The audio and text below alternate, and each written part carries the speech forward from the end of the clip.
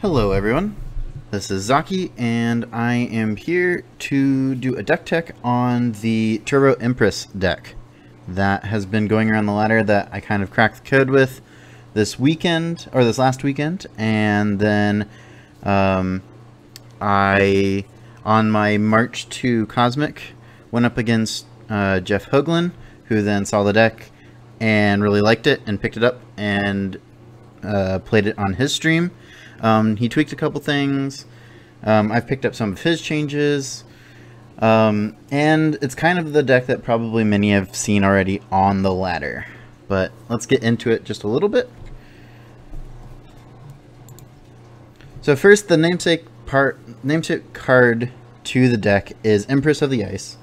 Um, she's part of the Maiden cycle, where um, let's see, are they all on three? No, because Poet and I believe Might Singer are on two. But they're all um, cards that make thresholds matter. They're all of a particular shard type, and then we'll have some ability of that shard type. Um, like Empress of the Ice, when you gain a Sapphire Shard, you exhaust a target troop, and then they'll all have, um, for five of that particular threshold, you get to a second effect. And Empress of the Ices is to opposing cards can't ready during their opponent's ready step. Um, so Empress basically turns into this great tool against aggro decks that they try to attack in. We play an Empress, they can't untap. And we can basically stunt all of their aggression. Um, uh, she's also fairly decent tool against uh, mid-range decks. They typically have more removal, so we have to worry about that a little bit. But um, we can hold down their threat since they have pretty few number of them generally. Um, that the exhausting it and then holding it down with the five thresholds is um, pretty uh, pretty easy to accomplish with the rest of the part of the deck. So since we're majority running to get to five Sapphire Thresholds, we're running majority Sapphire Shards. That being said, we're also running Uzu, um, the Bone Walker. Uzu the Bone Walker is a champion that has 23 uh, hit points, 23 health, and for four charges, you gain a threshold of our choice. We use her primarily so on turn four we can play out a uh, Empress of the Ice and get up to the fifth threshold that we need. Then we can uh, hold down the line if we need to. Using, but we also then have some ways uh, to capitalize on that. We're going to be primarily kind of an aggro deck from there. Um, our ways to capitalize on also running Uzu and getting many Sapphire Shards will also come into play with um, being rather aggressive, which we'll get to in a moment. But to be rather aggressive, we have to have creatures to do that with, and Dreadlings is an easy way to do that. In the Warpsteel Shard Shardsworn, we will be running the Dreadling gem. I believe it is the Minor Gem of Dread, but I'm not entirely sure on that. But the Warpsteel Sworn will also uh, spawn a Depth Crawler, who will also have a gem, and since we're in Mono Sapphire, it is a 50-50 shot between whether we get the uh, Dreadling gem or the gem that gives plus one plus one on actions. Um, since that's a fairly good chance, we have a fairly good chance of also getting double Dreadling gems on it. Also, the the two bodies from one card is a fairly good thing. We also have Skittering Cultivator, um, and we have some cards to let us uh, trigger that dil diligence faster than we would normally. But it's just a good card to also spawn Dreadlings. Now some of our payoff cards, we are running uh, two kind of pumping up our Dreadlings with uh, Commander Prompt, who will be pumping up all of our troops.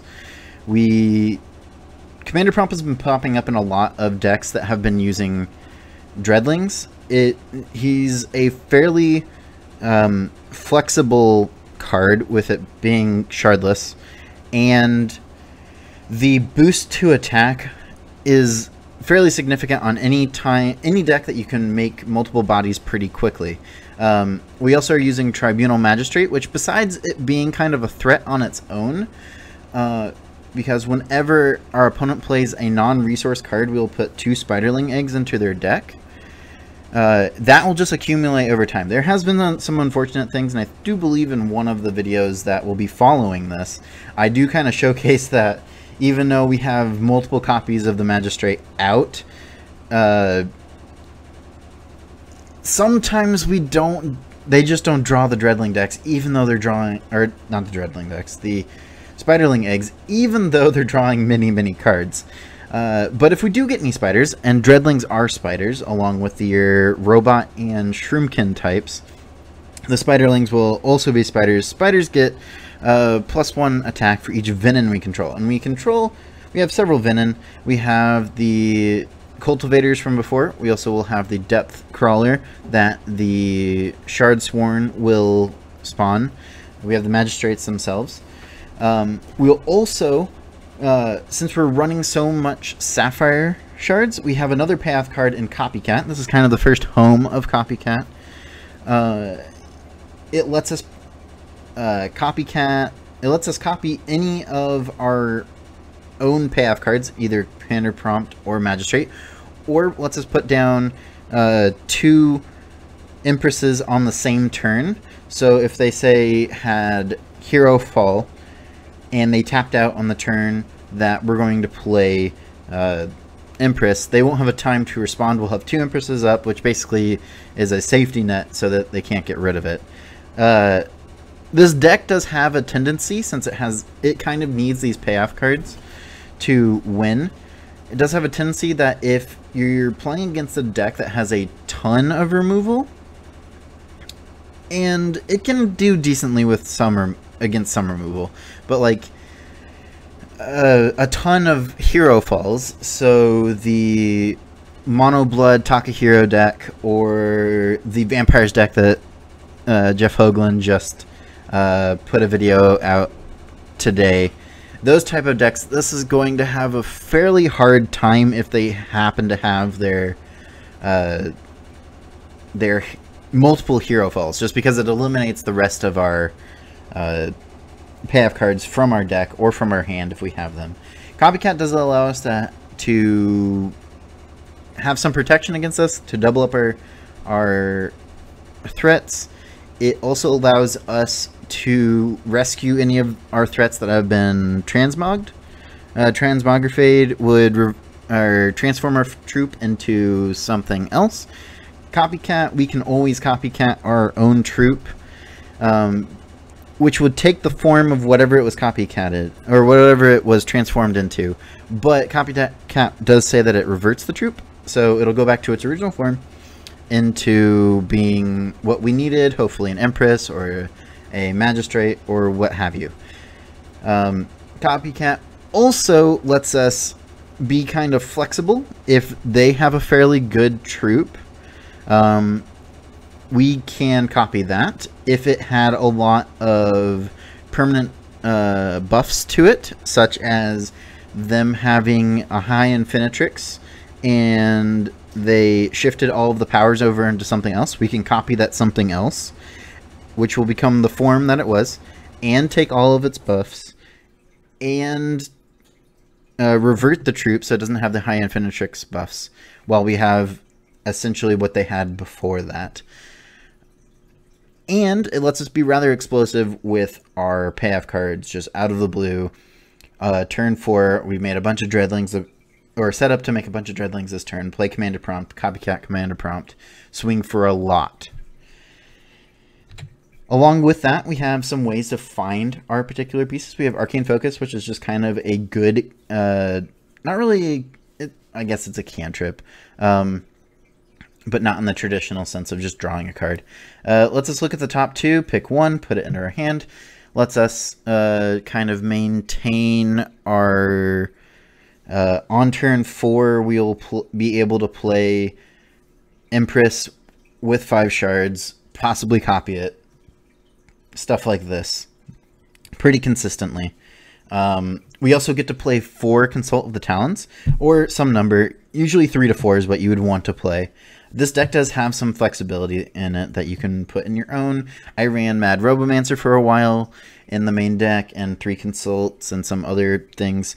You you have a little bit of flexibility. The main the main portion of the deck is in Empress having copycat and our payoff cards of at least Commander Prompt. I played for a while without the Magistrates. The Magistrates add a lot to the deck, but it they aren't entirely necessary, but it would be good to have another threat in it um, of some kind. And Magistrate is kind of the the best one in Sapphire currently, or one of the better ones that we aren't already running in Sapphire currently.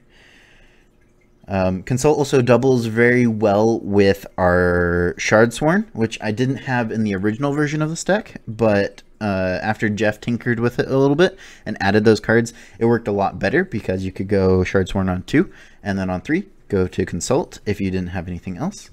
Because uh, that would make Consult cost 3, and drawing 3 cards on turn 3 is usually a good way to make sure you consistently get to Empress on for and have a copycat and kind of just lock them out of the game from there.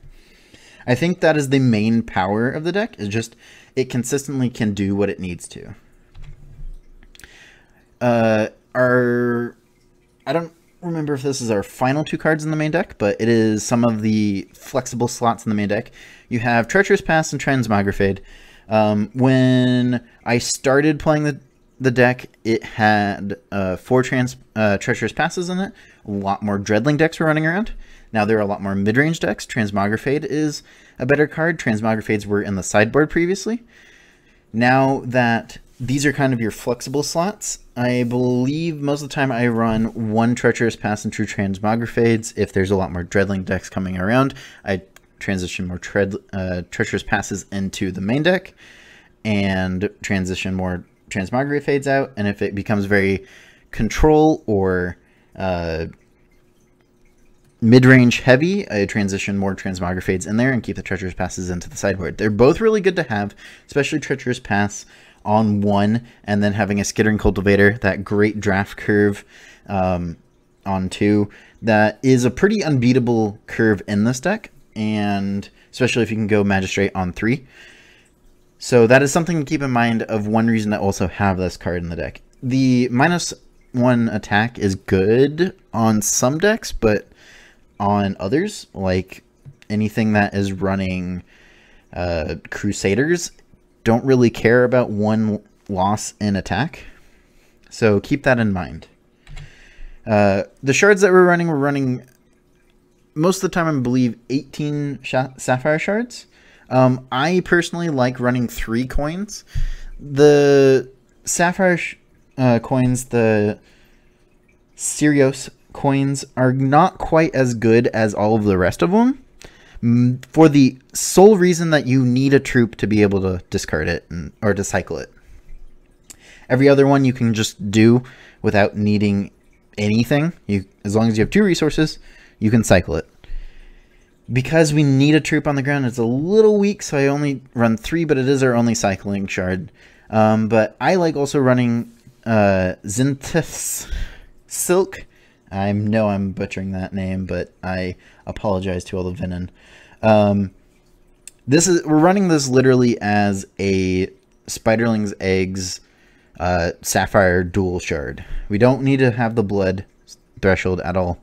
So once we have all the the sapphire shards, sapphire thresholds that we need, we can just make spiderling eggs with this, and it'll be perfectly fine. I run four of those. I know there are varying numbers on different people's uh, versions of the deck. Sideboard cards that we haven't already talked about because you would already have Transmogrifade and Treacherous Pass, some number probably in either the main deck and the sideboard. Um, we also can take advantage since we're very heavily in Sapphire, Frostbite, which is a great uh, card against mid-range decks that are also trying to be aggressive. So Crusader decks is a good example of those. Um, either Crusader, either Ardent or Underworld. Um, just holding down a rather big creature for two turns, basically, will be pretty good. Um, for one, resource is also better, And the fact that they didn't specify that it had to be two troops, that it could be up to two troops, makes it even better. Against control decks, against very heavy aggro decks, it's not quite what we need. Uh, but we have tools in our sideboard and in our main deck already to handle the very aggressive decks. So this will be coming in kind of the uh, heavy mid range. If the control deck is running a fair number of heavy creatures, it could also be handy, but probably not. We're then also running uh, several counter spells, or interrupts, I guess. Uh, I like running Halt. I know some others do not. I like having one halt at least in the sideboard. It just is a great. Uh, no, you can't hero follow my particular thing. Um, but then deny, which has been, it's not quite as good as it would be in say a Brown Fox Scout deck or anything with quick troops. You can get sometimes the the added bonus of uh, spiderling eggs from the magistrate coming in and uh, discounting deny, but wouldn't count on that. Uh, just the three mana no button basically for the time being, and then also the verdict of the ancient kings, which is always good against any kind of control deck. And that's about it. We have Turbo Empress, which has been a fantastic deck, and I urge you all to at least know how to play against it if you don't want to play it, but I love the deck, so I would suggest playing it. This has been Zakki Orichalcum. I will see you all later.